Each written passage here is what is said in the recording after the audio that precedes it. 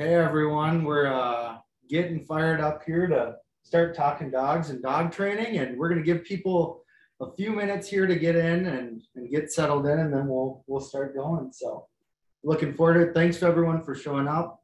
Gonna have a good time tonight.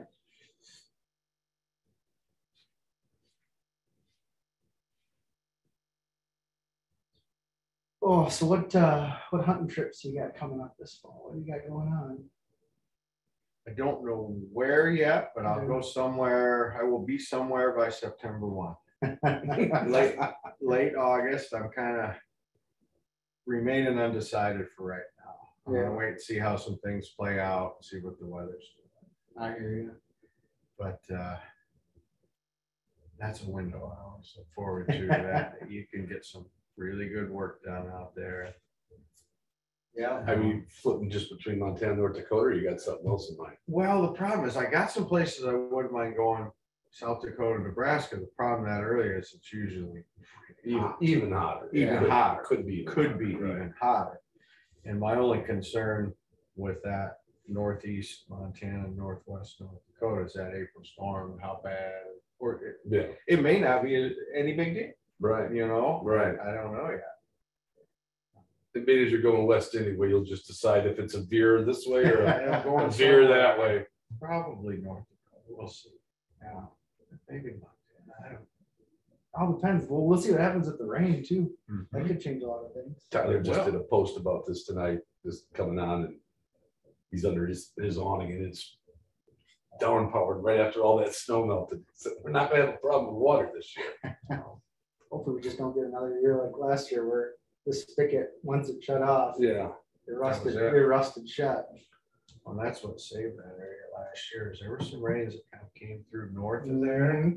that everywhere else, I had some friends going to like central Montana by Glasgow, and they're like, Oh, it was, there's no grass.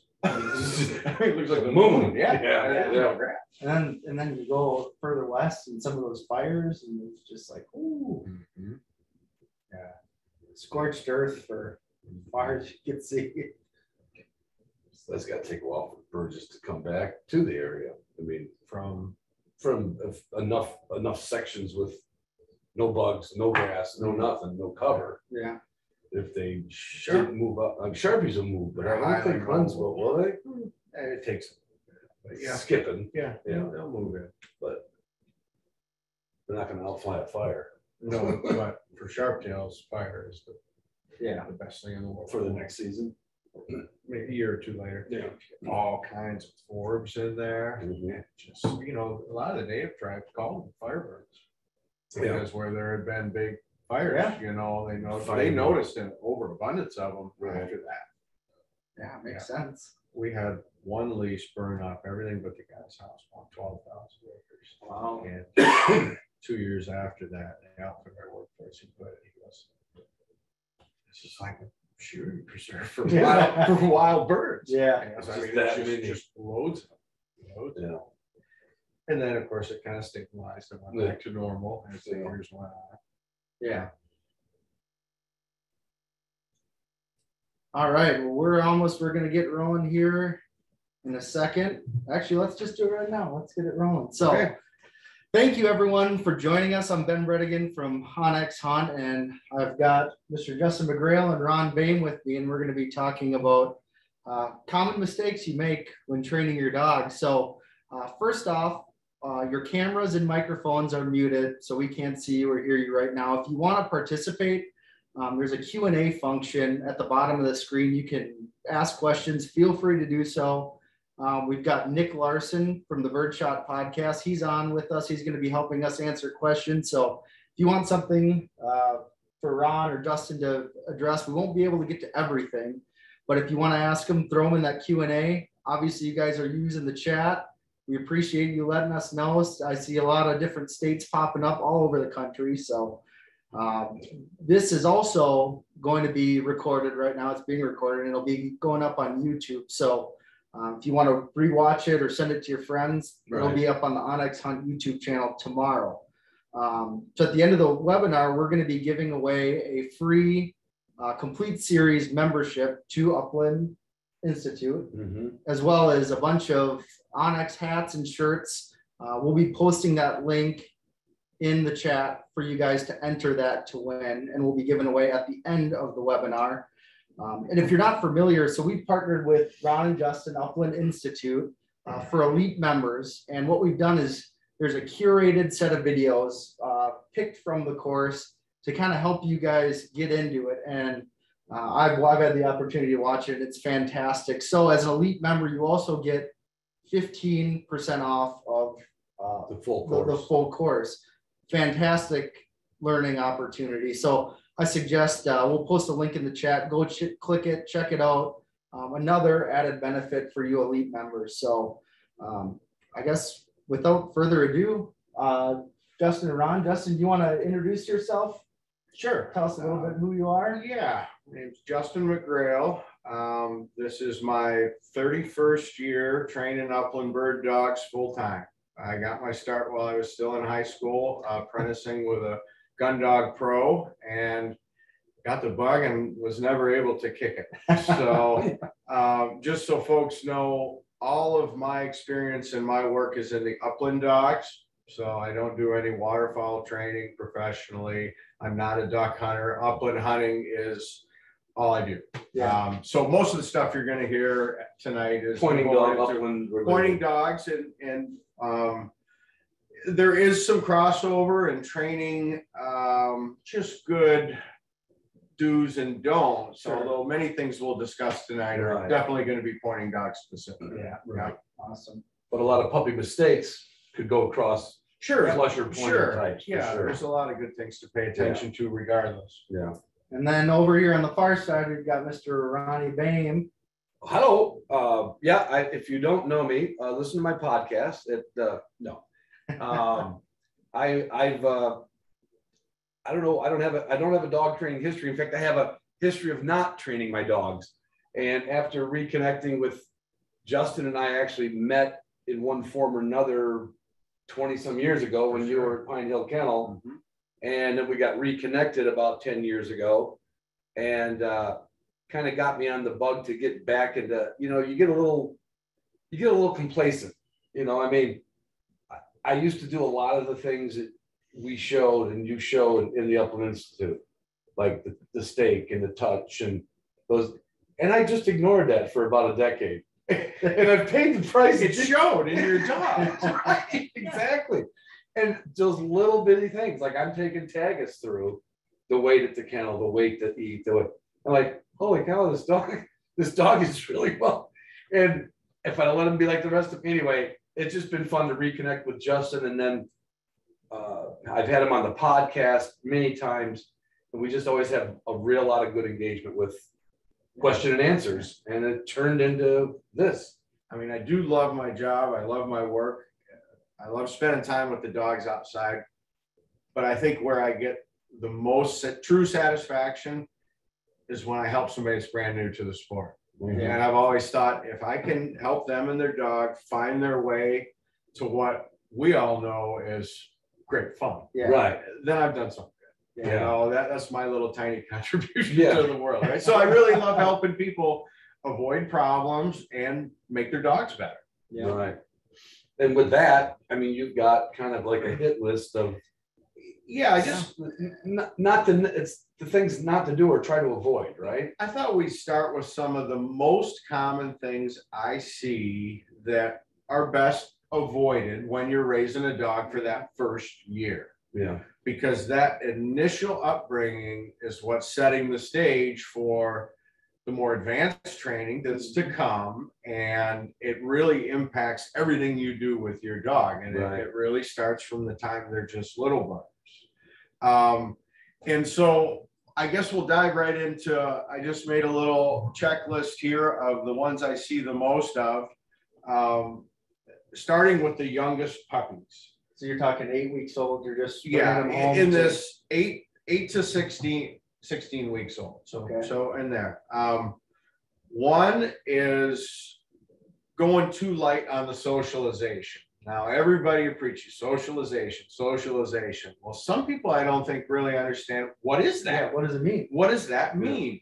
Um, you know, I let my kid play with my dog. I heard that's good socialization. Yes, it is. Yeah. But that is not the only thing. So to really grasp what the importance of socialization is, we want to acclimate our new dog, this little puppy, to everything that's going to be part of its life. So that involves not only new Not just people, but places. Yeah, Uh, they're going to be introduced to a crate and do crate training. Car rides are a big one. yeah. Um, every day is bring your puppy to work day for me. For you, yeah. But other people need to make a point of, okay, I gotta continually keep taking this dog places so that it's not a scary event. Yeah. Um, for our hunting dogs, obviously, part of socialization is getting out there in the outdoor environment. I'm a nut about puppy nature walks, right? And the first month, that nature walk is in your yard, really Yeah, you know, eight to Yeah. twelve weeks. Once they get a little bigger, a little stronger, I want to start to explore uh, new places. If I see a dog that gets to six, seven months old and it knows it's home, it's home people and it's yard and a car ride to the veterinarian. A percentage of them, when you put them in a new place and around new people, it throws them off track. And it creates a nervousness and a little bit of uncertainty and a lack of confidence in a dog. Yeah, and we've been getting some, a number of questions about separation anxiety or Mhm. those, those undesirable behaviors. Mhm. And most often you'll see that trait manifest itself in a dog who had a little bit of a genetic bent to become that way, Mhm. and it was compounded through that lack of socialization. Right. It often takes both. Mhm. And how that affects a dog's training. Yeah. Is when a dog is in that frame of mind of uncertainty, lacks confidence, nervousness about this, Mhm. I don't think they're capable of learning anything because their brain is in a whole like another gear. nightmare It's to a fight or flight, right? It's a just- whole nother gear. You Yeah. cannot teach a dog that is not comfortable and confident in where they are and what they're Right. doing. So the more we expose these pups to when they're young, the bigger the scope of that comfort zone is. Mhm. And then when it comes time for the big ones, introduction to birds, introduction to the gun, those pups are, yeah, okay, this is. they're all fun. This I've, fun. I've discovered a whole lot of new things in my life. Sure. Yeah, Yeah, just another, this is just another day, right? It'd be like if we went to New York City or a big city for the first time ever, mm-hmm. and it's like, oh gosh, I. I wanna go home. Yeah, like, I don't, I don't know this, like, and then it's like trying to, try to teach me something while I'm like freaked out from all the noises, Yeah, right? Overwhelmed. You're So- overwhelmed with newness. a lack Right. of people thinking they're socializing, but they're not really doing a complete job. Not a complete job, Not a that's complete right. job. And um, so it takes an effort on the owner's part. This is not a, you know, the socialization doesn't go on forever, but it's that first window where I feel like it's really critical. Mhm. Um, this is one I see a lot of, and even veteran people at raising dogs often are guilty of this. Rough house play with a puppy. They get them all hyped up, whoop, whoop, whoop, whoop, get home from work, get them all fired up. That dog's bouncing all around, coming out of his skin. I always know when a dog has been raised like that because now he's sent to Justin's school here and he's six, seven months old. And as soon as my hand goes to pet him, he's just coming out of his skin. We've created that sort of relationship with the dog. We have no attentiveness. Everything is like that. Yes, Yeah, these sporting dog puppies have enough oomph in them as is. We don't need to dump gas on that fire. We don't, we don't need to act in a way to hype them up all the time. Yeah, yeah. okay? They're gonna love us either way, but I think some people kind of, look how much my Yeah. dog loves me. Yeah. Yeah, Look how happy my puppy is to see me. They're happy to see you if you don't do that too. yeah, right. And I try and preach to people, when you touch your dog, remember the two S's. Your hands should always be soft and slow.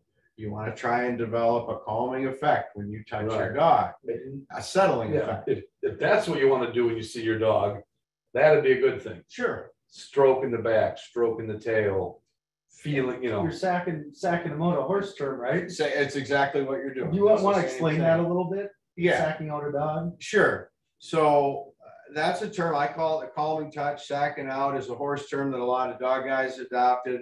So you're conditioning the dog that when you put your hands on it to stand, relax, and give itself to you. And remember down the road, not only do we not want to fight that overexcitability, we don't want to put that there first. But a lot of this training requires us handling a dog Right. up close with hands on. And anytime we touch a dog, we want him to be relaxed and calm and accept our touch Right. and allow us to do things with him. Mhm. Um, and then, so not only the training benefits of that, but I'm shocked by how many people it's a wrestling match to put eye drops or ear drops in, or look in their mouth, or check their feet. But they did it themselves by, oh, They, they put that there and then they didn't do the other Yeah, stuff too. It's yeah. all, again, it's a Right. double whammy. Um, so I tried, your dog loves you without that roughhouse Right. play. You're putting a little bit of a hurdle in there for the future that doesn't need to be there. Um, retrieving is a huge deal to bird hunters. It is a huge deal to bird hunters. I see a lot of people do way too much puppy puppy retrieving at a very, very young age in an uncontrolled fashion. Okay. So they'll take the puppy out in the backyard and they'll just start whipping stuff as far as they can, and the dog goes. Yeah. Test the waters when they're young. Every now and then you latch onto a puppy that wants nothing more than to bring that to you. If Mhm. that's the puppy you got, great, you're lucky. yeah, Um, small doses, but you should nurture that if you grabbed one of those. That's about two out of ten. The other eight are gonna take off into the woods with it, lay down and chew on it. Right. Or run around circles and play keep away. That's Yeah. all very predictable little puppy behavior Yeah. with thrown objects. right, If that's what you have, do not keep doing it. Continuing to throw those things over and over and over is not gonna miraculously go, oh wow, he's bringing it right back to me Right. with my hands. my dog's a solid retriever. Yeah, yeah. And so how does that like manifest later on? Like, what do you see when you see dogs that they've had that? that becomes the habit. Is if the dog doesn't naturally return to you with an object as a puppy, we cannot make them do that as a puppy. Okay?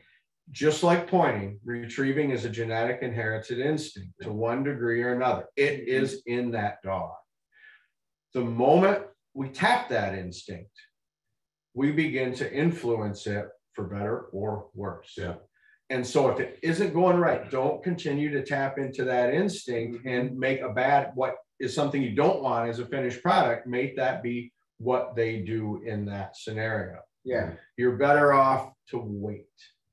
If it is indeed there genetically, there's no expiration date on your dog's genetics. Okay, that instinct is still going to be there. Let's wait until he's a little older. We have some other things in place, and now we are in a position to influence it. Yeah. So unless you luck into that puppy that wants nothing Yeah. more than to bring you something, don't keep throwing stuff and throwing stuff and throwing stuff. You can save that for later. Gotcha. Yeah. And and like it, with a puppy like that, are you doing any like whether whether it's down a hallway or on a check cord? Both. Okay. Yep, both. And again, if they're not into it, I am totally fine waiting with it because I have ten other productive things I can be doing with that Yeah, puppy There's a lot that age better things window. you could do. Yeah, yeah, you don't want to, you don't need to do it all at once anyway. So if it isn't going your way, sometimes you gotta know what not to do. And it's okay to leave it alone for now, right? Just circle back to it. yeah, yeah, just because your pup doesn't do it at four months old doesn't mean he's not done. Yeah. Yeah. Yeah. So don't. A lot of people are freaking out. I'm sure you get it a lot. Like Phone rings like crazy. Yeah. my my dog's not pointing. My dog's not retrieving. Whoa, Did I get a dud? The universal first question I ask is, how old is your dog? Yeah. And they're usually quite Young. young, Yeah. quite young. Mhm. Um, this one is, I think it starts as puppies. It, it has a little bit of a tie to socialization, but also some early command training. Um, I don't like to layer multiple new things at the same time on a puppy. Okay, So in terms of the socialization thing, I kind of like one new environmental factor at a time. And once I see the dog repeatedly is good with like some taller okay, grass or a little wood lot. I'll, I'll- yeah, Then when you see that demeanor you're looking for, confidence. don't go there to the PetSmart in the same day and try to do Yeah, three, three And- new things in a day. another example, and we're, we're beyond four months now, probably, yeah. with this example, okay? Um, introduction to the gun for puppies. An old standby method is chasing birds. Lots of guys go to that. It's an effective way to do it, done properly. Um, but a lot of people who don't have resources at hand, they'll take the dog. He's old enough. I want to introduce him to birds. Okay, you get by some birds. Mhm. Takes him to a place the dog's never been, puts the birds out. He's never seen any birds. And he's gonna shoot a gun. And maybe he's got his friend with him. There's four brand new things to that dog. Just stacked four. You things. just tilted the odds of something potentially not Right. going well. If the dog's in a place he's never been. He's never seen a live bird before. He's never heard a gunshot of any kind. He may not know the other dog in the field. Or person, yeah, you Or got person. everybody with you or whatever, a stranger. Now, there is a sliver of dogs there that they'll roll with that. Nothing phases them, right? They're Yeah. just that kind of dog that's made of that kind of genetic material. Don't bank on that being your Yeah, dog, because if you're wrong, you could have a big wreck. That, that kind of hope is not a strategy. No, that's right. Yeah. No, and Yeah. so always err on the side of caution. So um, I use that because that's an example that I have firsthand seen somebody, and it was pretty predictable, that dog. There's probably a lot of things he didn't like about that. And then Right. you threw a gunshot in there on top of it. Yeah. But the premise is one thing at a time. Don't, not a bunch of multiple new things on a puppy. Yeah, so like with that example, so for example, you would, you go out to that field that you were gonna work birds in. This is the, this is spot you can do it. You have access to. you'd Yep. Socialize, it, let, let the dog just, okay, I know this area. 10, 12 fun runs, no birds. Yep. Different routes through the place. But he's been there before. Yep, so when you pull in there, the dog, I know where I am and this place is cool. Yeah, I like coming here. and then, you know, whether you do your foundation intro, intro to birds, mm-hmm. get the dog all jazzed up on birds. So, yep, no shooting, Yep, right? So, okay, we've added now, second new thing. yep. Okay, wow, birds are cool. This place is This place twice has as got good. even better, I love right? it. It's I twice love as it good as it was last time I was here. And you build in that, if you're gonna use the bird chase method, he's tearing off, firing off, chasing those birds around, having just a big old time. Yeah, And you do that not once, not twice, you do it multiple times. Just err on the side of caution Right. before you bring in another new thing mm-hmm. into that. Which would be the gunfire. Which would be the gunfire. Yeah, yeah. Right, right. And of Yeah. course, yeah, and, and I don't want people to just go out there and start blasting twelve gauges, you know, there's a process and a method to doing this. yeah, Gradually, distance, there's a lot of information available out that, but and and we were talking a little bit yesterday when we were at your kennel, and this is the one thing I took home with with the point we're talking about now is this doesn't stop when it's a puppy like this. This is important for the whole rest of the training process. Yeah. To not stack so many things on top of each other, sure, right? Teaching them almost anything. it's a fundamental way that dogs learn. Now, because a percentage of people come to me and it is their very first dog, not just their first bird dog, their first dog. And they're trying to understand how to teach this animal, This is Yeah. not a human. Um, so I try and grasp the ways to explain things that register with people that have no dog experience. So when you teach a kid to read a word, you don't put words in front of them and then when they butcher the pronunciation, smack them on the back of the head. Okay, You didn't go to Catholic school, No. did you? well, I sure. So, no, okay, so to read this word, what do you need to know? You The need to, alphabet. you Yeah. need to learn the letters of the alphabet first. Mhm. Boom, boom, boom, boom, boom, boom, boom, to be able to recognize them and know what, know them by name.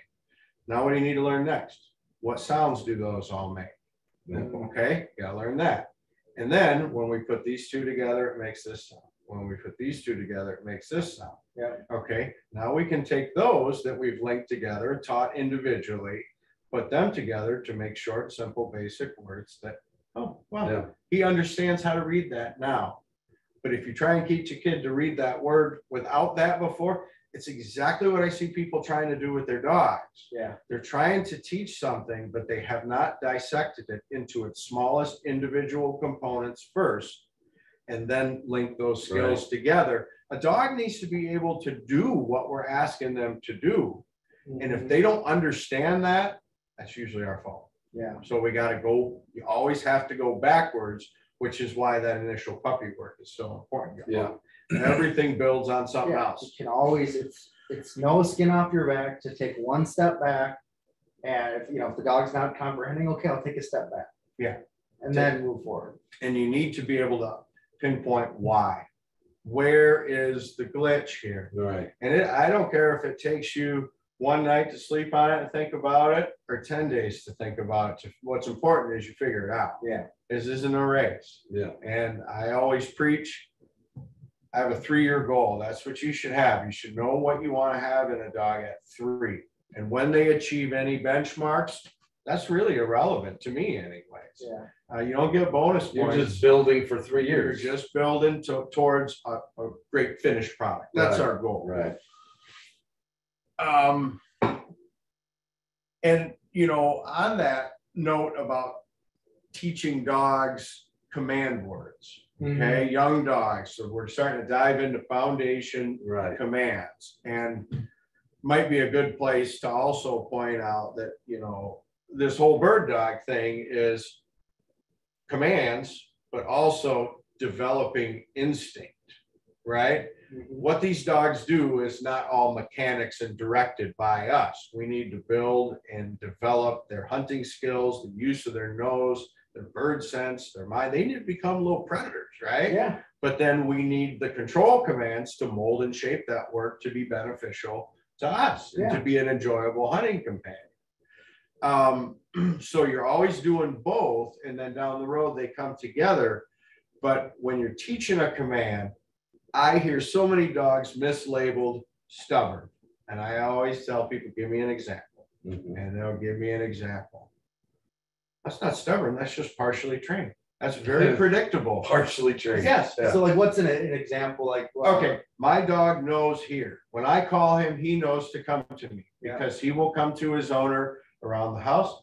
He will come to his owner in the yard when there's nothing going on. Yeah. Okay, and then they're in a little more of a real world situation where there is Away from home, different sight pictures. Yeah. A distraction or something that is tempting and just, you know, simply more attractive to the dog than turning around and coming to you. Right. Yeah. Okay, well, that dog is not stubborn. That's very, pre- I could have told you he wasn't gonna listen to you, and I don't even know your dog. Okay, but, but that's because a person didn't understand that you're, you're not done when your dog shows that first comprehension of what that word means. So I try and explain it as this is a three-part process. You teach it, and then you train it, and then you have to proof it. And you're not done until you complete all three of those steps. That's a good way to view any and all command response it would, training. it would start right in their backyard. and It would look like that in their backyard. But then they have to proof it by going other places and doing it under different circumstances and. Yeah, these dogs do not come to this world with a, you know, uh, handbook of definition of terms. Okay, so the step one is to teach them what these words mean. Step one. Step two, when you train that command, is where through consistent reinforcement, putting yourself in a position to follow through. Every time they hear that word, that's when we communicate to the dog, and this is the training, that this is not optional. This is something you need to do every time you hear this word. Right. And that's through controlling that environment, hands-on check cord work. Um, and then once we see that that dog is doing it, he's doing it, he's doing it. Now we need to intentionally seek out things that are gonna cause the dog. That's the To- proofing it Right, part of it. so you think about what are the situations that the dog is likely to blow this command off?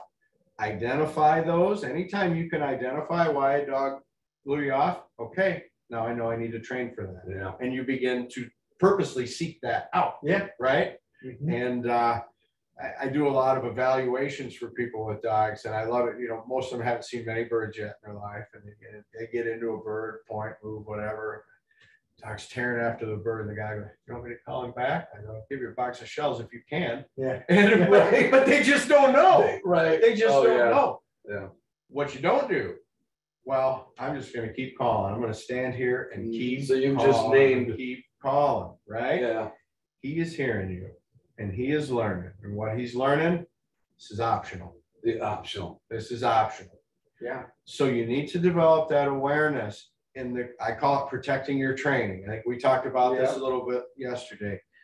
When you're in the process of training dogs, you always need to protect your training. And that means knowing when this is a losing battle. He is not gonna listen to me. Yeah. Either don't give it at all. If you're tempted to try it at once and you see absolutely nothing, this is not the place and the time to, to throw the respect you have earned right out the window. Right. And you had, you brought up a good point yesterday too, is just because you raise your voice, I, yeah, yes, yeah.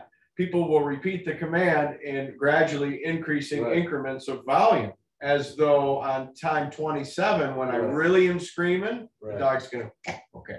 Yeah. Yeah, no, don't wash out your training with that kind of handling.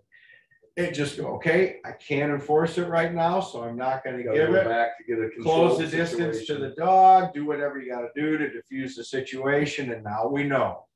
We're not there. yet. Yeah, Yeah, And then and to that point, you know, if a dog is running off chasing a bird, and you know, I'm sure in front of you, they're probably a little frustrated. They're like, "Oh, dang, my dog's not doing well," and then they get mad, right? It could be a little bit of nervousness Yeah. on their part. Or it's like you're not doing what you're supposed to do. I can't call them back. Like the last thing you want to do is show emotion there, get mad. Yeah, Like it's just like when that dog come back, okay, Yeah. good, good dog. well, usually evaluations are pretty young dogs, Yeah, and I don't expect to really see evidence of any training. I'm looking for potential and anything that could be problematic. I, I would worry if the dog was tearing off every bird come, well, okay, I'll come back to you. I want, those dogs should want those birds, Right. right? They Mhm. should when they're pups. So that's totally normal stuff. It's not a Mhm. stubborn dog. Um, so the next thing on the list, um, is when we are doing that work with the foundation command training. And you're putting your time in, and you're doing the repetitions and your time is being applied effectively. You know, a lot of people say, I don't have the time. It doesn't take much if you're doing it right for these Mhm. dogs to learn things. And, uh, when you see concrete proof, you see this tangible results of this work you've been doing, it almost always spurs people to go too fast. You get excited. yeah, This is working. He's got it. Okay, well, he has it right now. Okay, let's do it again Thursday. right. And then let, same thing. And then let's do Yeah. the same, Yeah. let it be good and repeat good. That repetitions are what make things permanent. Yeah. And anytime somebody says to me, he learned this in a week and I got him doing this, you know what I Yeah. think? It'll go away just as fast. There you go. Anything achieved quickly by a dog by nature is highly erodible. It's the long haul, consistent handling, consistent reinforcement, practice, practice, practice. Mhm. Michael Jordan didn't quit practicing free throws after he made three of them in a row. Yeah. Okay, so you Yeah. need, you need to continue. It's repetition over the long haul that really trains dogs. Yeah, Um, and this is a great tip for everyone who's trying to make that progression forward as these dogs are growing up. Anytime you're moving forward in a dog's training, always carry something with you that's familiar to the dog from its previous training. Find a way to include something that registers with the Hmm. dog. These are all that you've got new, you're going into new territory Yeah, but you got to bring something they know with you into that new ter- territory for them to latch onto and go, this is new, this is new, I know that. And then, okay, we've made a step forward. yeah. So like, what would be an example, you know, in a, in a situation, someone's training, what, what would that look like? I think, uh, here's a common one for pointing dogs. Uh, steadiness is huge for pointing dogs. Mhm. Okay, the very foundation of reliably steady dogs is rock solid whoa training. Okay. Well, a lot of people do a pretty good job of teaching whoa in a very controlled environment. And I'm a big fan. I got some little early puppy hands-on whoa stuff I do, but then a whoa post used properly really is a lot of the meat of it. And dog trainers forever have called this type of dog training yard work, right? Yeah. Yard work obedience. Yep. You're not in a hunting environment.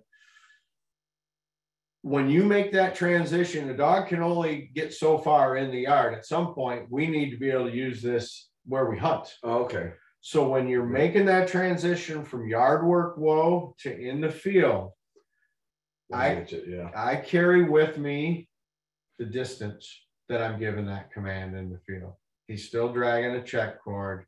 So when they're coming by me, whenever I get a chance, I'm not gonna try and give a whoa command when the dog's at a full run at eighty yards. That's too big a step. right. But I've done hundreds of repetitions of whoa in this dog's life In a circle at fifteen yard. yards. Yeah, Okay, Mhm. so I'm gonna build on that. so that's what you're saying. That's what you're bringing That's what I'm familiar to the dog. correct. He's used to stopping at fifteen yards Here, and seeing you. So the first time you go to the field, that's the only time he's gonna hear it. simulate what you did in the yard, He knows. and that. then you slowly, yes, can expect more. Stretch it out. Right. Slowly stretch that it makes out. sense. He's still dragging that. I think Ben and. I were both thinking a handkerchief and neckerchief. What, what did you, what did you bring with them? No, But I even saw you do this when we made the Upland Institute. You would bring the tie out stake and the cable and move that out to. I the move them all over the place. Right, but I mean, it was always kind of sterile in the first place. Mhm. And then it was actually in a field that they had been in birds before, but there was no birds. Yeah. But it was in the bird field. And that's just a A function. site picture of- more than, No, no, simply just because that's home training grounds and everything. It's a new location, okay, you know? So the application for the average guy in a neighborhood is borrow your neighbor's yard for a Yeah. couple nights a week. Right. If you got a buddy in the neighborhood, or go to a friend's house, or go to the nearest playground or park or something, yeah. right? Dogs are situation and location thinkers and learners. mhm, And if you only work in one spot, that's, they can, they only know it there. Only perform in Yeah. one spot. Exactly. They leave that place and initially they don't think, well, we don't do that there. We've never done that there. You can't possibly think. Right, but you got, that's a good place to start, Right, right? But then you gotta build on that and eventually we need a pointing dog that anywhere and everywhere we go, whoa, means hit the brakes right now and Right. don't move until I kick you loose. Yeah. right. Yeah, and, and Ron, you were talking about, uh, we've got a few questions about a, a tile. Tie out stake. Yes. Yeah. uh, And this is something that we talked about yesterday. Yeah, yeah. Very passionate about Yeah, and, and something that, uh, is kind of getting lost a little bit.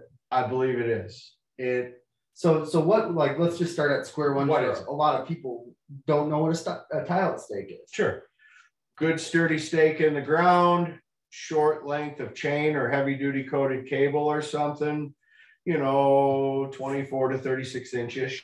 Um, good brass snaps with swivels on both ends. And you will clip your dog up to that. It's meant to restrain your dog. He can't go anywhere other than, and the stake swivels on the top, so he can go around and around like that.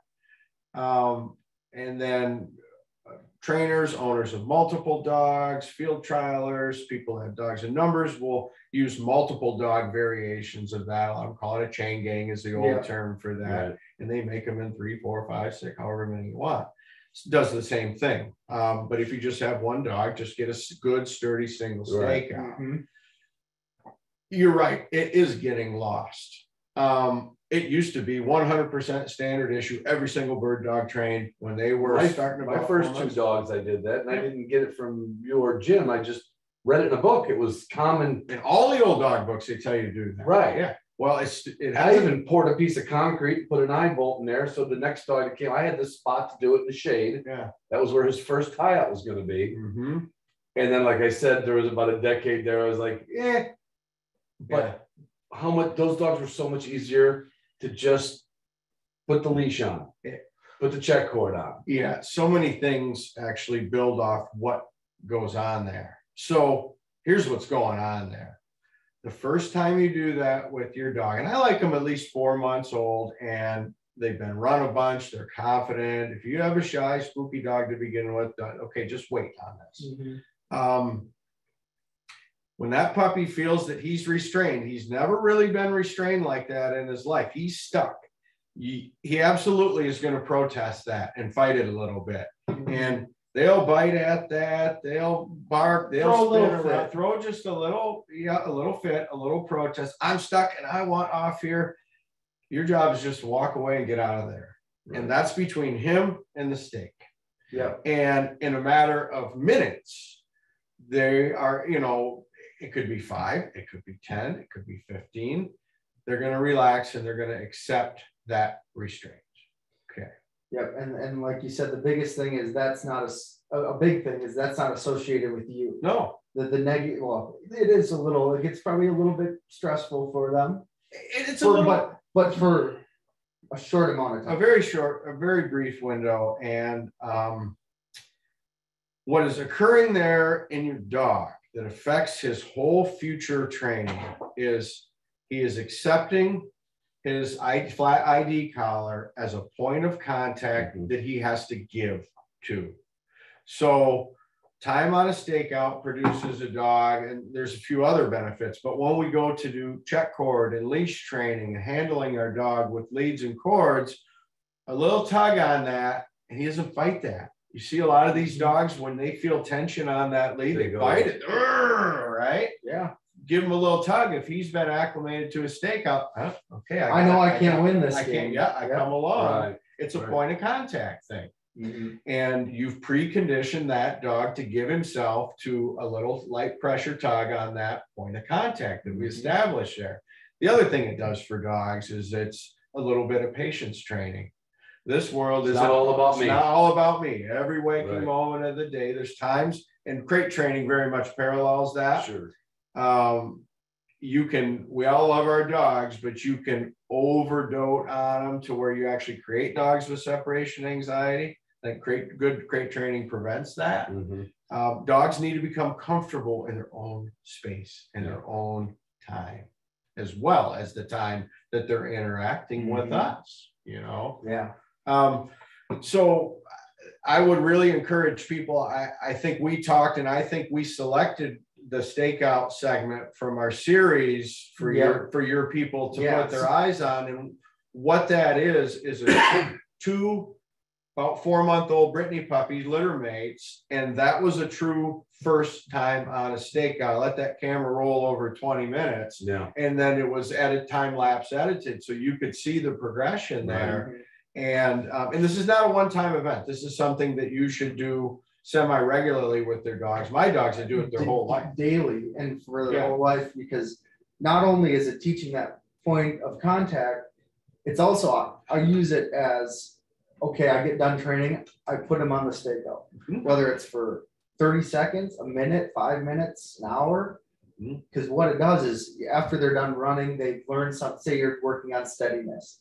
Um, you know, bird goes up, dog stops, good, okay. I go back to the chain gang or the stakeout, hook the dog up, and the dog can sit there and process, right? Mhm. Because if you go right back into it, like that dog's head's just spinning, right? Like I have just forgot about this. Now we're going to do this. Mhm. So you put them on there, let them process a little bit, take them off, go Mhm. back in. So it's a good opportunity for them to just soak in what you taught them. For sure. And that reminded me of something, um, that I think is very important. A lot of people would fall into a category of a mistake. When you're training and a dog does something really right, right? I mean, okay, he does good.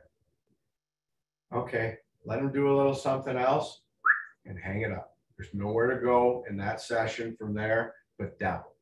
But a lot of people, they want to see that again. Right. And they want to see that again. It's No. fun. We like it, Right, right? It's like, right, my dog's doing great. Yep. Let it be good. Yeah. That- Let- that- Let it settle, let it, Let's put that check mark in the thumbs up training session column and call it a day, right. right? Yeah. And we'll do it again another Let day. that really permeate. Let like- it soak in. and then think, I mean, that's what they're thinking about. Probably for a dang long time as they go back into the box, they're thinking, oh man, I did good. that was great versus ending on a bad note where it's like, Yeah. oh, like he, I can tell he wasn't happy because you know those dogs can pick up on. Yeah, that's something some really accomplished dog trainers I've had the, the good fortune to share their company in the field with.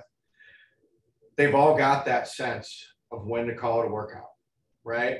And I think a lot of novice people, they don't, they don't, because that's a hard one to develop, Yeah. you know? And I think human nature, the excitement of something Yeah. good going on, you know, I've watched guys put the rope on a dog when he's not even tired yet, or he's not even breathing hard yet. There's nowhere to go from where we are right now, but downhill. Right. Let it be good and let him put him up and let him think about it. Yeah. Yeah. Um, just want to let you guys know again that we have got a, a giveaway going on. We'll post the link here in the chat, but it is a, uh, you know, a, a, membership to the uh, Upland Institute Complete Series, which goes over a lot of this we're talking about, all, well, most of it, yeah. Oh, yeah, and into, I mean, really everything from the puppy work all the way to train retrieve stuff and Mhm. finishing dogs completely steady on wild birds. Yeah. And everywhere in between. So we tried to not leave anything out. Yeah, so click on that, that link that we posted and you have a, you know, chance to win as well as we're giving away some onX shirts and hats and, um, again, you can, uh, you can also go to Upland Institute and as a elite member, get, uh, fifteen percent off the complete series as well as watch, um, for example, that tie out video is on there, so. Mhm. Uh, yeah, so more, again, if you just joined us halfway through, we're talking about common dog training mistakes people make. So what do we got, uh, what do we have next on the docket here, Justin? You know, we kind of bled into it a little bit. I think we used it as an example how, how, you know, critical whoa training is to achieve reliable steadiness in pointing dogs.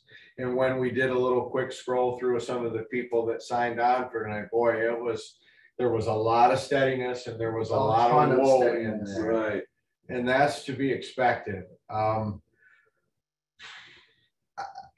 just to cover our bases with first-time pointing dog owners who don't have friends, family, hunt Right. buddies. And they're there out Oh, there. for sure. Yeah. Okay. And I, I see them, people Right. coming to me with their first Which is fantastic. Oh, yeah, and it absolutely it is. Um, it needs to be understood from the very beginning that the act of a bird dog pointing a bird is not taught. That's inherited from their ancestors. That's an instinct, okay? Many people seem to be under the impression this is something we need to train our dogs to do. Right.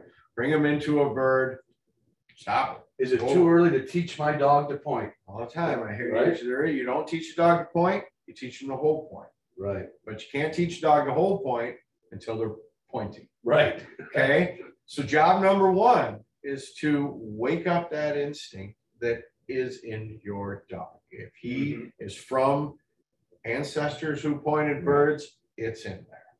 And it's very common for youngsters not to point initially. That's okay. I expect it. That's not a mistake that I try and prevent. Especially, you know, eh, through the foundation, you get them hyped up. Yeah, we Right, want want them to be excited. birds. Yeah, let's get excited. You bet. You can't do anything wrong. This is what we're here for, Right. okay? Um, so whoa is an obedience command that we teach. The act of pointing is an instinct that we nurture and develop. Step one, get them point birds. Right. That introduction, good introduction to birds. So we, we've seen a lot of questions that, you know, my dog doesn't point, it just wants to chase birds. How, like, if you're in that situation, what do you do? Yeah, the first course of action, and even dogs that point very briefly and then want to go in, which is very common.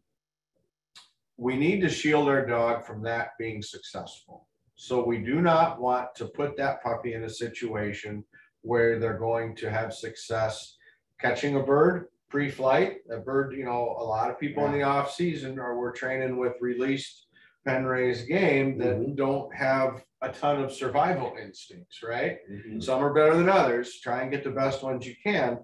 Um, so you need to use those in a controlled fashion. If a dog that's not pointing has success catching those birds or is successful post flush off a chase, there was something in it for him. That worked. Mhm. I want to make not pointing or pointing briefly and then flushing. Okay, I'm glad you love him and everything, but we, it's imperative that he fails to get them. Yeah, catching a bird in that situation will only perpetuate it. You're Sure. taking steps It, back. it worked. Now, if you have a dog with strong pointing instincts and it happens once, it's never the end of the world. You do not want a steady diet it. Your dog would be better off. So that kind of warps the natural progression of a pointing dog because when they get into birds and they get in too close and up they go and ah, I chase them and they're gone. And we go over a while. Here's another one, same thing. Next week, same thing. One of those days, you're going to see that dog instead of running there when he smells them, he's going to slow down. And that's the first indicator that, okay, we're getting close to having a dog that points his birds. Okay. You know, I've got a little small collection of old dog training books that go back into the 30s and 40s and 50s. And there's no question these dogs we have now have more point, I think, than some of the old Okay. ones because they talk about them flushing and chasing birds for Yeah. a long time before they just, okay, they start Yeah. to point them. But those guys were working on 100% wild birds pretty much. Some of those old timers were using pigeons, but Yeah, um, so you need to make sure that there's no success in that. And the whoa is kept completely separate. And to influence a dog's pointing, which by my way of thinking should be post first season. I think trying to steady a puppy is often an exercise in frustration for uh, the Both the owner puppy and and the the- puppy yeah. and the dog, and you're likely to do more damage than good. Um, hunting, you know, go out once you got him introduced to the gun, he's establishing some set points. You'd be better off rather than putting him on more and more and more and more poor flying pen birds to work on range and pattern. Uh, So we got a dog that goes with us in the field in the fall. Mhm. Then go put a season on him of hunting yes, and then come back around to your steadiness. All the while, we're building that obedience to whoa to where it's stronger, and stronger, and stronger. and they're separate. They're separate. They're not Pointing, pointing it, I don't say a word to those dogs. You know, I had a young dog point a woodcock this spring in the woods training. Mhm. And I'm coming around, coming around, and nothing lifts, and I'm making the second pass in front of the dog. I see that bird, and it's about four feet in front of this dog. And it was a big old hen, and she was squatted right to the ground. Now, I was ten days in front of when our quiet season started, but the way that bird was sitting there, I thought, oh man, I wonder if she's on eggs Yeah. you know, shouldn't have been, but it could have, it's possible, right? And my friend who was with me, he says, Are you gonna say whoa? I said, She knows whoa in the yard. She doesn't know whoa with a bird in her face, right? Yeah. So, uh, no, I'm not gonna say that because what's gonna happen? And thankfully, it was just a tight sitting bird. Yeah. Got Yeah. up, it got Yeah. out of there. So she knows whoa, but not in that situation, not using it around birds, Right. Yeah. not using it Not ready for that yet. And, and it's something that you have to be very, well, a lot of people have to be very conscientious of, especially, you know, if you've had dogs in the past, and a lot of people will walk up, you know, whether it's a hunting or in a field trial, walking up, and they almost don't know they're saying whoa, It's- right? It's just whoa, whoa, whoa, and it's like, hey. He's like, did I say whoa? I said, yeah, you said it about thirty times. Yeah, Yeah, and it's, it's either someone, uh, a first timer emulating something they've seen, Mhm. or often a nervous habit Yeah. that somebody has. But I, I see people, they're gonna engrave this on the urn that will hold my ashes someday. I say it so much. Saying whoa when your puppy points does not teach it what whoa means. I want people to always remember Right. that. You're just talking while your dog is pointing. You might as well say apples. You could say anything, okay? And then, so first season developing point, shielding it from any bad birds, and then building a strong wall. And then after that first hunting season, that's when you fold those two together. Yeah. Your dog will tell you when it's ready to be steady if you're watching and paying attention. You know, uh, it's been said a ton of ways by a ton of great trainers, but the gist of it is, you know, you're pretty wise to let a puppy be a puppy while he is a puppy. Because otherwise they'll come undone on the back end. on you. okay. Yeah, there's a little bit of getting that out of their system. Yeah, I chased a bunch of birds and I broke a bunch of points and I busted a bunch of birds and it didn't work. Yeah, Okay, Right. let them learn that. Is it what you want as a finished product? Of course not. But none of these dogs are perfect right out of the chute. yeah, you don't take them out of the top, you don't take them out of the box and try No. to, it's like a TV, you don't try to turn it on, it's like, oh, it works. No, it doesn't work like that. let them learn some real world lessons. Mm-hmm. And is it gonna cost you a little shooting? Yep, so what? It's an investment in the future. Now, the dogs I have seen studied pre-hunting experience and the dogs I've seen post, I think they turn out better. There's, there's, first of all, way less risk of any negative side effects from Right. steadiness training. Blinking. and Doing, things like- Yeah. flagging on point, all kinds of stuff that could happen. Losing that intensity, Yeah. Mm-hmm. like, yeah, the only thing in this world is me and that bird. Yes, and let them come to that, because that is really the highest level of impulse control we can ask of a pointing dog. Right. Is to, no, don't move, even though the ground is blowing up in front of you with wings and Yeah. there's guns going off, right? That is not the domain of a seven-month-old dog that is just learning to love this game, Right. nor should it be. Yeah, And I have seen some people that were determined to grind that into them as puppies. And you know, I watch that dog and I go, this dog's heart isn't in this anymore. You know what's going on between that dog's ears? How do I not get in trouble? Yeah. I don't ever want to see an uninspired dog in the field who's thinking, how do I not get in trouble? We want a dog thinking, where's the next bird? yeah, And doing it with and for us Yeah. right? This is a relationship built over a couple years, years, yeah, 'cause right? I'm sure you'd rather see, much, much rather see a dog come to you that is wild, chasing birds, like that's his world versus a dog that's like, oh, uh, Mhm. Uh, are you, you good with me doing this? I evaluated one two and a half weeks ago. Smelled a bird, whole demeanor changed. Just ring around the rosy a couple times and slinks out of there. And my, my heart just sank, you know? I looked at the guy, said, that's not good. He goes, yeah, I go, yeah. He goes, how come he's not pointing? I says, I don't know. So we started talking. And I said to the guy, I said, I would have rather he ran in there with gusto and flushed that bird and chased. Well, I wanted to point. I go, hey, at least if he ran in there and flushed it and chased it, I have hope. That we're, that we're gonna get him to Yeah. point. What you have is damaged goods. That Yeah. dog, yeah, And then, then you have to, back to your building blocks and you have to go back, right? Yeah. Uh, Quite a bit. and if the, that dog had been mishandled around birds in an attempt at early steadiness, that's exactly what happened. That dog had had a lot of pressure put on him before he had any much bird experience to be perfectly steady mm-hmm. right out of the chute. Mm-hmm. And he learned, man, every time I smell one of these, something bad happens, me," Yeah, right? I, I see that a lot in the people in the hunt test world, trying to go so fast, and you can see it sometimes just in the dogs retrieving. You can see it in like other things too. Might still hunt pretty good, but they've steadied up a dog. You're like, wow, like fifteen months old, you know. But then there's always something in the course of the day that shows I don't want to be here. So It always shows up somehow. I'm really glad you shared that because you need to always have your radar on for signs that a dog's feeling pressure Mhm. from your training. And when you see that, you need to see that when it's a little dent, Yeah. not a hole so deep you can't see the sky anymore.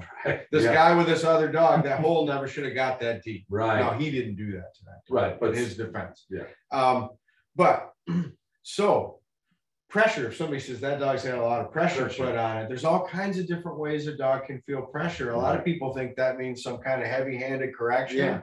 No, it can be asking for more restraint and control and polish and Goes back to adult those level layers. performance layers Yeah. than the dog is ready to Right. handle at that young of an age. Yeah. Right? Uh, you like know? send them to school and tell them we're gonna take the bar exam on the weekend. yeah, Yeah. It's just too It's much. just Yeah. too much. Build them one block at a time. yeah.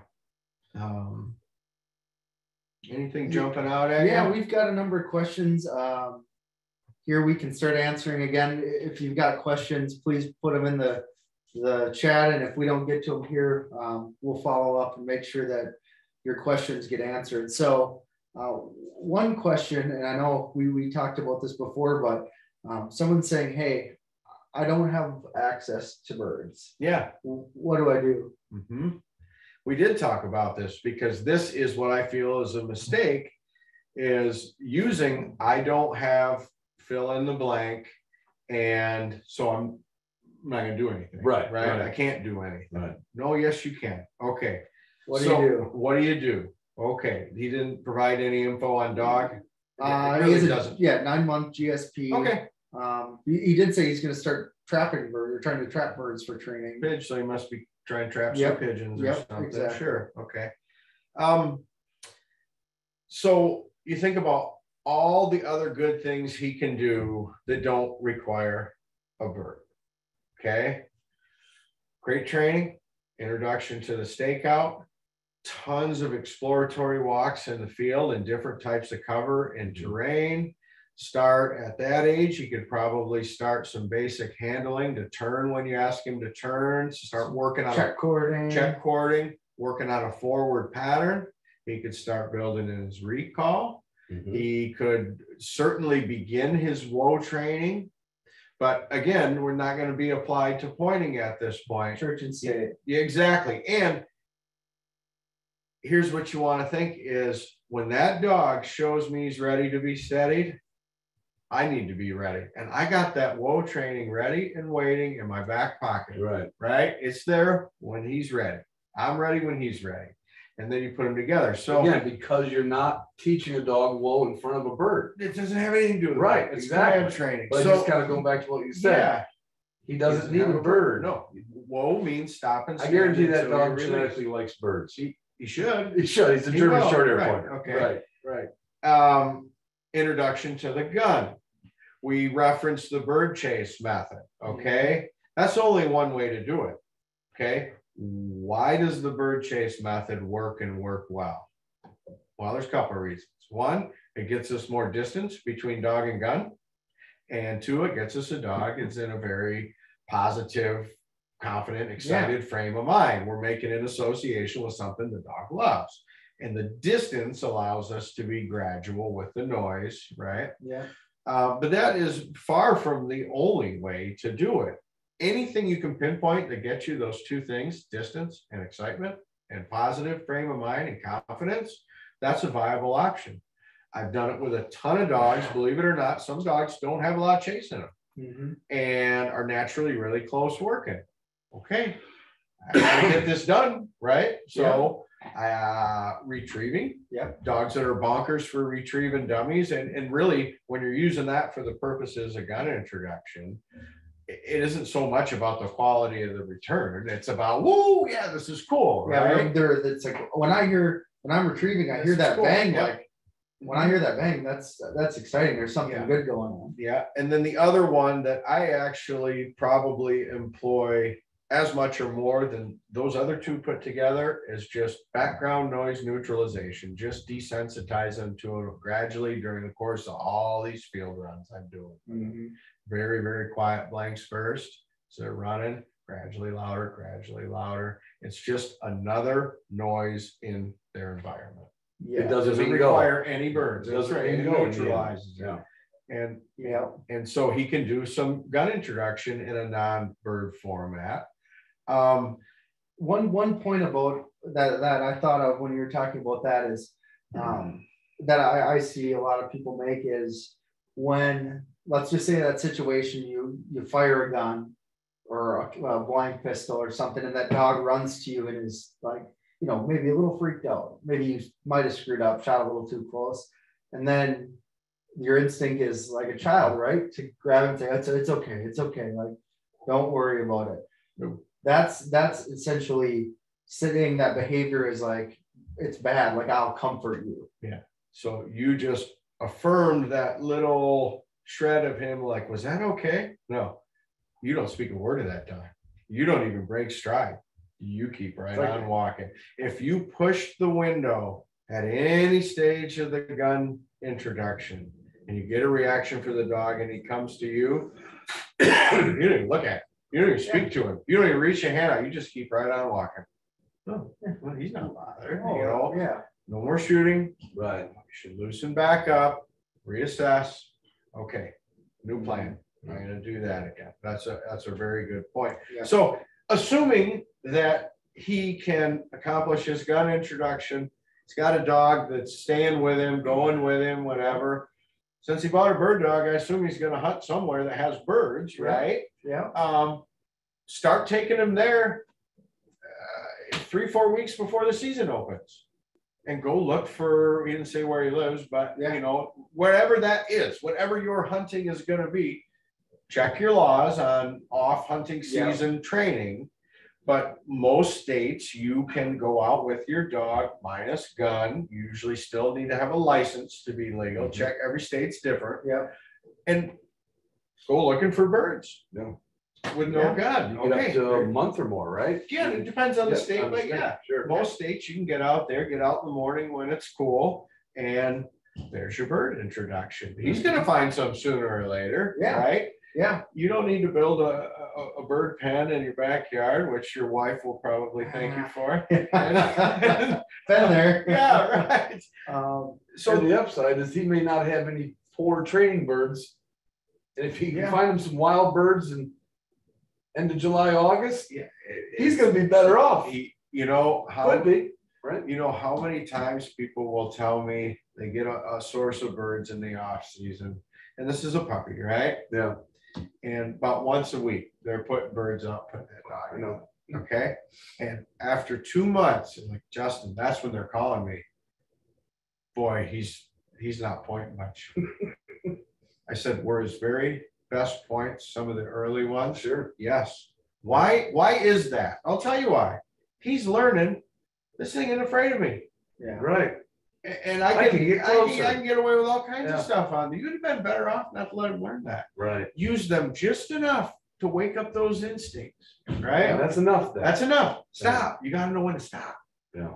Now, fast forward another year, and we have a dog with a season of hunting on him, a dog that's whoa broke. We do some formal structured steadiness, and we achieve a dog that is controllable. He's holding his points more now. We're teaching him to hold his points now Mm, we now have a little more wiggle room in what we can use for a training bird. I.e. a pigeon or a. Chuck or or fly- whale Right, or something, right. because now we got a dog that we've done some steadiness Right. with and everything. But when puppies, not if, but when they make a play for that bird, I need a bird to do what a bird needs to do, and that's get up and get out, fly out of his life. Yeah. That's what we need to happen, right? yeah, So there's so many great things that, that he can do um, without birds. yeah. Yeah, And then if you're looking for birds, you know, if just say you got, I gotta have some birds. I live, you know, I mean, I lived in Mississippi. And there weren't much for wild birds around. You know, walk along for a long time. yeah, Craigslist. sure. Get pigeons off of Craigslist. Yeah, Try to avoid quail. yeah, You know, you can read up on trapping pigeons, um, local clubs, whether you're, you know, the VDV, GNA, NAVHDA, lots of clubs, Google it. Yeah. And most time people are super excited to help you. Um, you know, they, they love doing it. yeah, yeah. Because if you don't have any source of birds, I mean, I assume he's gonna hunt, if it's not wild birds, Yeah. he's gonna go to some hunt club or Yeah, something yep. like that, right? Yeah. So maybe you can start to take them out there, uh, you know, early in the season and talk to the owner, you know, the thing in that is. It costs the hunt club operator the same whether you're killing them or not. Yeah. Yeah. But It's that's- expensive. look, Yeah. you, you can't raise a bird dog without them, so Yeah. that's just an investment in the future. You can't make a boat and not have a lake to put it in. Yeah. You gotta have a lake. You want a boat? You gotta plan on taking a trailer. You might live on a lake if you're lucky, Yeah. but you gotta figure out having a trailer and getting the boat in the water. Exactly. Um, here's an interesting one. Uh, my husband and I are both planning to hunt with our Brittany. Do we need to choose a main owner that she'll respond to?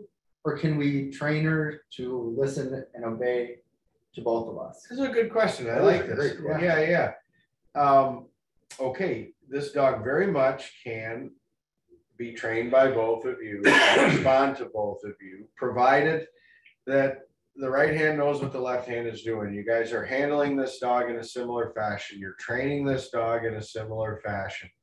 Um, the dog, as long as both people are consistently teaching and enforcing commands, because I'll guarantee you the inflection in his voice and hers are very different.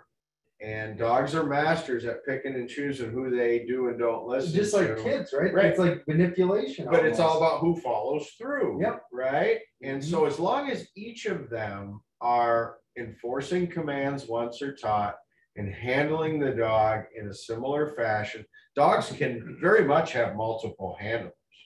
Um, the one thing I need to point out is before you turn that dog loose, you decide if you're together, only one of you is handling that dog at this time. Do not switch back and forth during a set training session Yeah. or a hunt.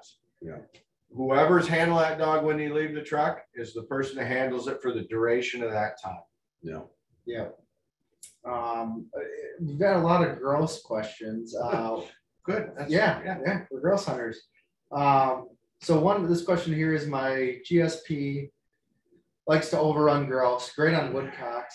Any suggestions on helping him not overrun? birds? Overrun. I'm guessing just maybe, we were talking about this yesterday. I had a dog that put a lot of pressure on Sharpies because he was used to running on pheasants. And, you know, your answer was spot on to that. Yeah, yeah. You know, and that's the thing, a lot of people use similar terms to describe different things. So Right. overrun to me, my vision when somebody says that is, you know, he just, this dog is running through the woods and all of a sudden you just hear it grouse, you know?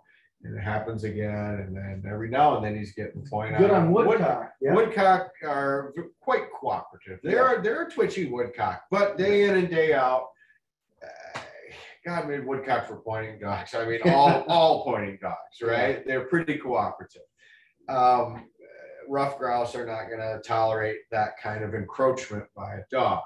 So, if this is a uh, under three year old dog, okay, it may be a matter of more experience. Yeah. Very well could be, especially if a season for him is not necessarily a lot of grouse contacts, depending on where he's hunting, Yeah. right? If he's hunting in some area where there's not a lot of grouse density, eh, he just hasn't racked up enough experience yet to figure them out and- and learn how to handle them. Um, if this dog is in his middle years and has been afforded a lot of grouse contact, it's very possible, if not likely, that there is a necessary skill set genetically that just is weak in the dog. Mhm. And, and not every dog born to this world is made of the right stuff to be a dog that can consistently go out and find and handle ruffed grouse. Yeah. They're a tough, tough bird for a one of- yeah, they are. Yeah, one of the toughest. And, and so, and don't feel bad of that, don't, it doesn't mean you have less of a dog, it means you just didn't luck into that dog that had the right combination of Mhm. skills. Um, here is one thing I should point out, though.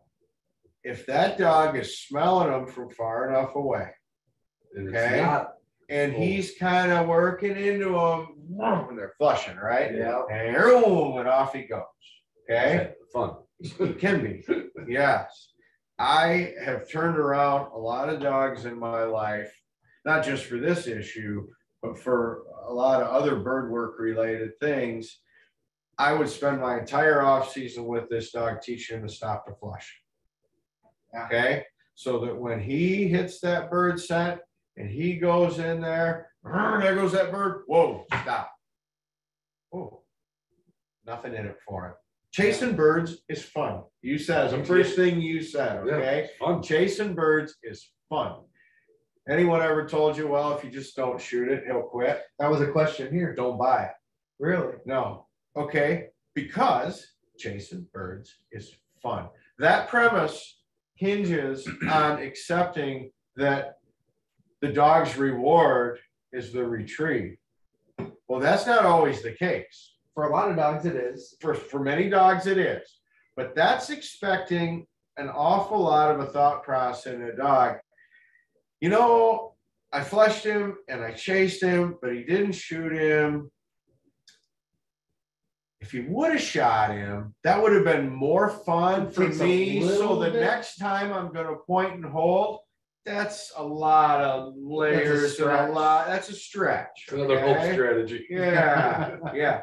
What I have found is taking away the fun of an uncontrolled detached chase and insisting on stopping to the flight of a bird.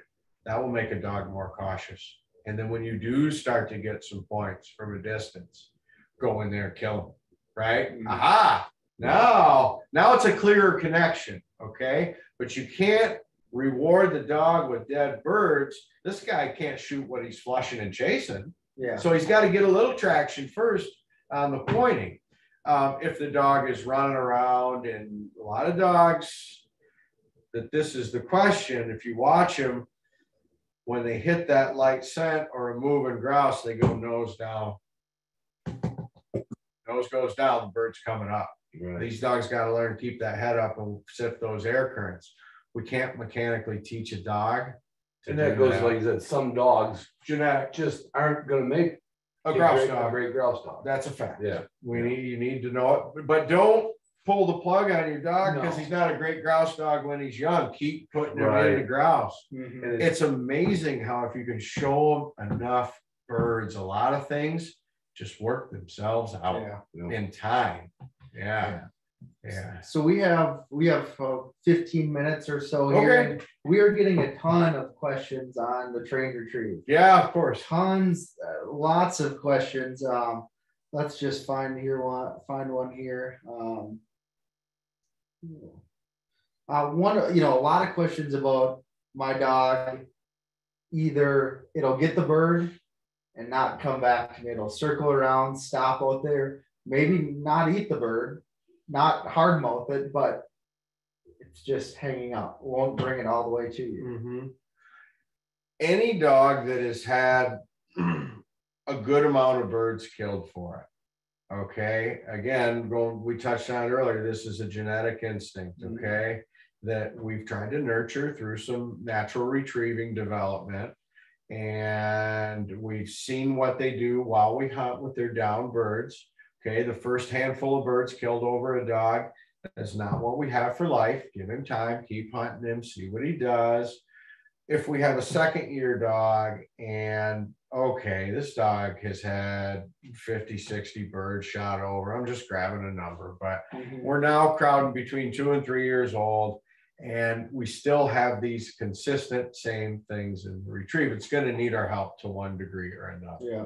Okay, now, the beginning to end process is far beyond the scope of a discussion to accurately tell someone, this is how you fix this. Yeah. Okay. We could sit here for hours, And- days. And you also need. I- some illustrations. Some Yeah, yeah, illustrations, and so some put- demonstrations, okay? But I will reference what we talked about early on.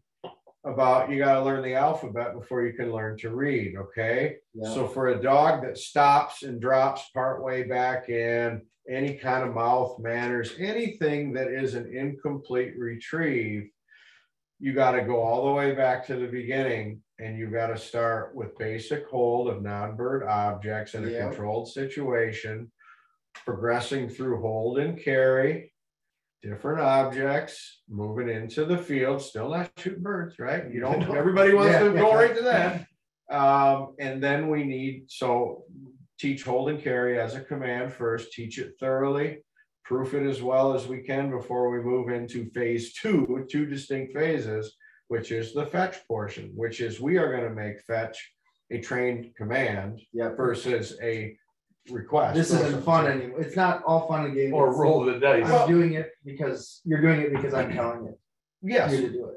much the same as you need to heel, because I'm, I'm gonna teach you what heel means. It's just like any other command, only it's a little bit more involved in some of those, but we're teaching the dog to grab an object on command. Mm-hmm. And then initially first presented right in front of him, and then a little further and a little further, and then down on the ground, and it Yeah. it is all tiny little micro steps. If there's an area. Before you attempt this as a first timer, you want the most thorough education you can give yourself. Right. Yeah, Okay. and, and I was gonna tell everyone out there that this is a perfect scenario where you, you go on Upland Institute and watch that start to finish because it's so hard to grasp in bits and pieces. It's so nice to be able to see the dog go from step A all the way through Z. Yeah. And then with that, I, I, mean, so many of these questions could be, you know, remedied with the trained retrieve. And do not do this before your dog goes hunting for a season. I, I think, I think you're liable to do more harm than good with certain dogs and, and applied improperly. It's okay to let him have a season and see what he does with his birds. You know, you, you, don't need a perfect delivery to hand the dog's rookie puppy season to go out and have a good time. Let him have some fun, let him learn. Get that baseline, just like we do that before teaching the advanced steadiness Mhm. we should give a young dog that prior to expecting a higher level of training in his recovery again. Yeah, Okay, now he's mentally prepared to understand that and he understands the whole here.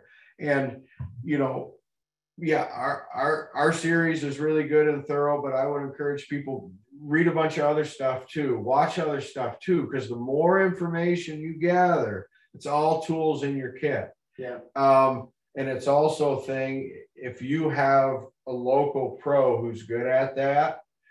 I would like people to do this themselves because you're gonna be a better dog trainer when you're done. and then, yeah, you, you knowing how to like. that's- Reinforce it. That's the biggest thing, because And then they get in the field and they do it, and then you're like. Fetch. Yeah. Fetch, Yeah. when maybe that's not, Not not the what, right but you don't thing. know what You don't do. There they go, know, there they go naming it again when it's not Yeah. you get- done. Yeah. Yeah.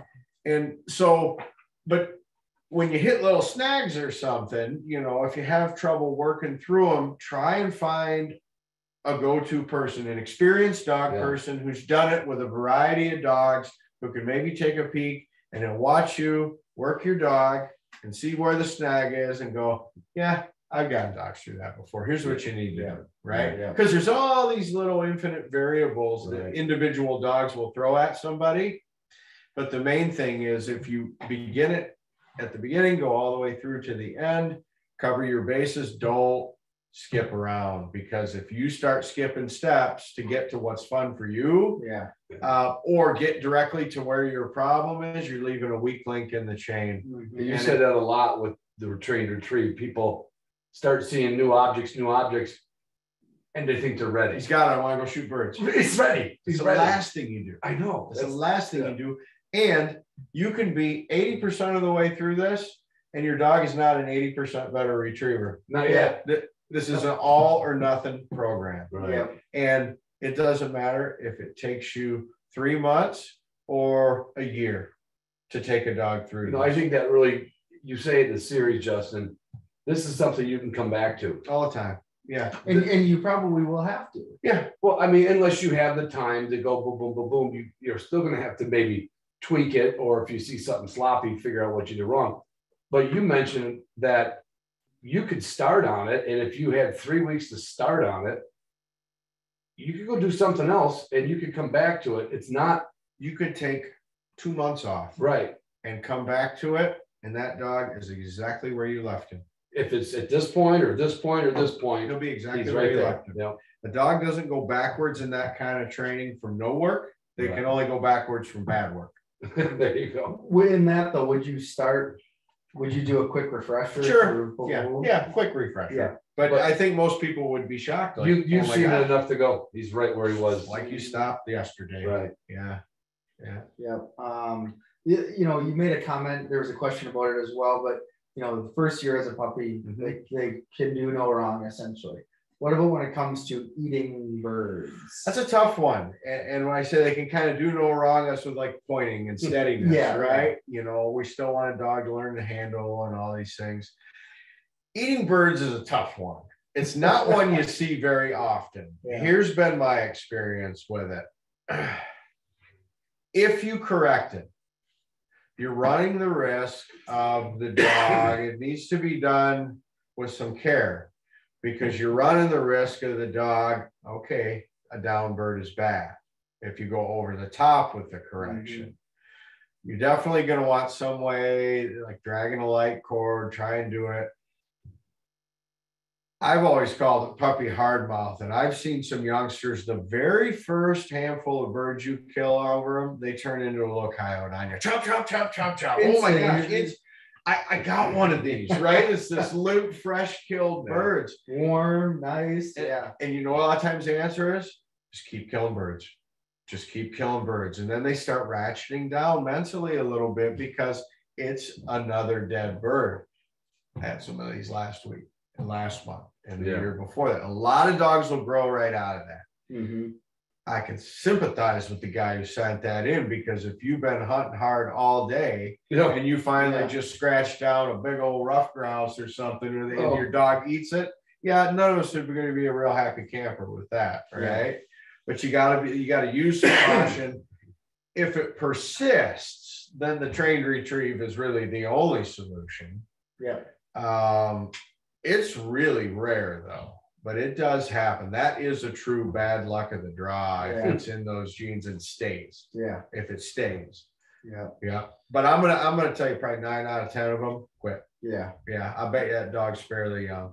Yeah. If he's two, I get on the train to retrieve pronto. you Yeah. know, Yeah. um, you know, another theme I'm starting to see in here is, um, you know, in terms of search pattern and developing that search pattern. For Yeah. example, here, um, you know, she gets really excited. Well, that's maybe a little bit different. Um, she gets excited when there's birds in the field, quarters out a little bit too far. We've got another question here that is, you know, he he's making hot laps or running in straight lines. Yeah, yeah. I'm a pattern nut.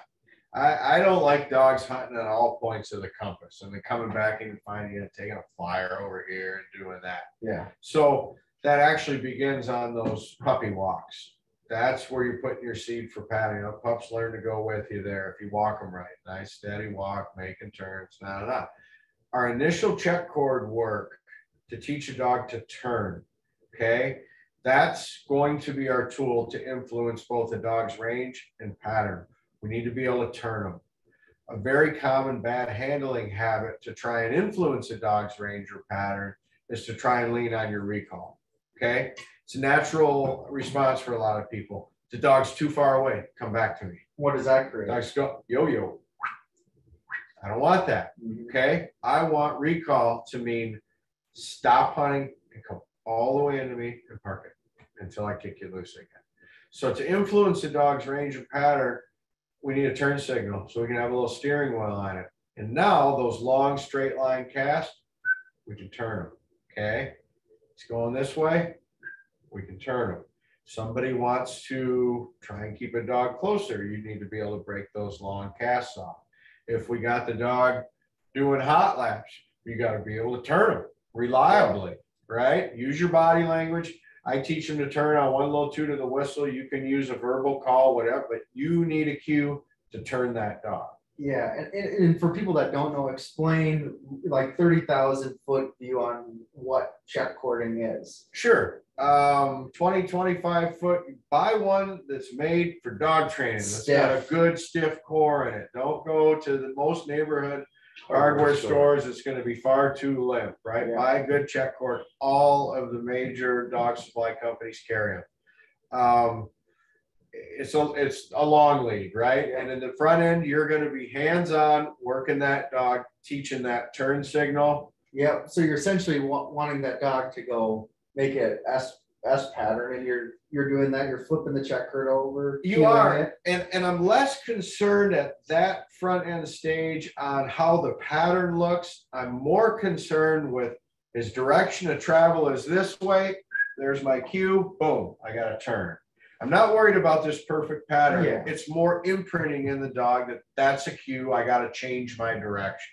Okay. And then as the dog masters that, okay, that's where we're going to overlay the e collar for some collar conditioning properly done. I saw a bunch of collar questions in there. There's no way we can address all those, but in a nutshell, collar conditioning is teaching a dog how to respond to a collar stimulus. So for this case, it's learned on check cord. Command is learned to turn. Once it's learned and learned well, we're going to overlay the low level stim on the collar on, as soon as he turns off. Pressure on, pressure off. Again, just model enough that he can feel it. Uh, it was during filming, Ron was watching, I was collar conditioning some dogs. I don't even remember what for. He goes, we're just teaching them a new language. Yeah, it's like three languages. And I go, that's Yeah. exactly what it is.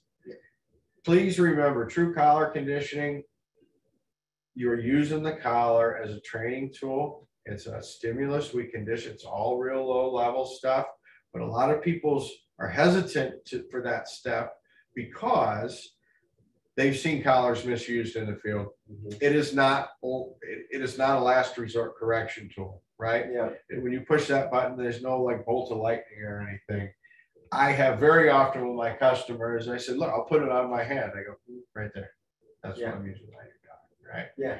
Many times in the collar conditioning, and we had to include in our series a little light that showed when the collar was on and when it was off.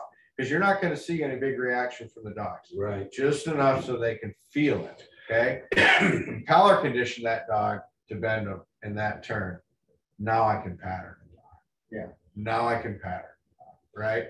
When I can bend him, all right, and I tell people, this is a moving invisible fence. Mhm. And I'm home plate, first and third base lines are a little bit wider for a bird dog. And Play now, ball. Let's play ball, right? Yeah. Now, we don't want to go a dog's entire life, to go here, to go there. No, no, no. This is temporary. And when you teach that, consistently handle a dog in that fashion, you watch him, boy, you're just getting ready to call on him to turn or use your whistle Yeah. signal or whatever. Right? Right. Or I'll see that dog in open country coming across flying and I'll catch him throw his head like that. and He's looking for me. Yeah, if you're where you're facing, where you're Yeah, he's looking at me, he's reading my body language. I am building handler awareness. And to me, when you can stroll along and not say boo, and that dog just lays out there in front of you, going at it, trying with all his heart to find a bird. And you start turning and he sees that, and he swings around in front of you, that's just beautiful, right? But they're not all born patterned like that. No. We need to help them Yeah. get there. So just through the turn signal, be able, the ability to turn your dog is your number one tool to influence range of pattern.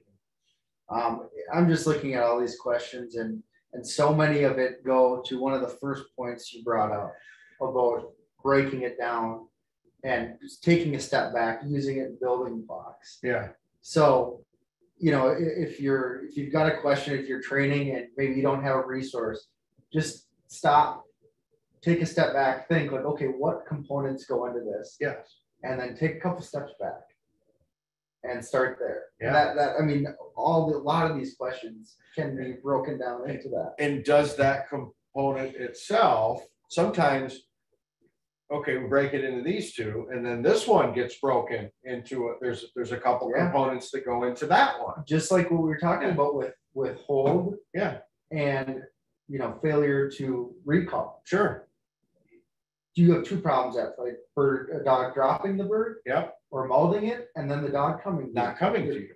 Two right. separate things. Yep, so you gotta, you gotta address both of them separately. Yep. And then link them together. Mm-hmm. Yeah, Well, we've, uh, we've reached time here. Again, I, I appreciate both of you guys. Yeah. on. This was oh, I could do this all night. Fantastic, I love talking dogs. Yeah, and we'll, we'll have to do it again soon, I hope so, yeah. this is something that we could sit and probably talk about for hours and Yeah. hours. Um, again, make sure you guys go and click on that link, uh, to enter the giveaway for the complete series Upland Institute, as well as some onX gear. Um, you know, I, I can't, I can't tell you how much I appreciate you guys. I've learned a lot of stuff just sitting here tonight, so we hope you did too. And, uh, you know, if you have any questions, uh, you guys are on Instagram. Uh, Well, yeah, Well, well, that's a loaded question. I think- I Ron's think- daughter's on Instagram. Yeah. yeah, I have a network of help. But anyway, if you do have a question or you think you're ready for it, you have a question about it, we have a contact page on the Upland Institute. Yeah. And just tell me what your concern, your question is. Give us your numbers. We'll call you, we'll rate you. If you think this is something that's right for you, we'll be glad to really get in a little depth with you too. For mean, sure. um, I would say the, uh, you can't get that when you buy a book. You can't call the author. Oh, You can't always get Justin around the phone, but you can reach us. Yeah, Yeah. for sure. I do Yeah. my best. Yeah, yeah. Well, again, we appreciate it. And for all of you that sat and, uh, and listened and did some learning, uh, thank you as well and have a good evening. Night, y'all.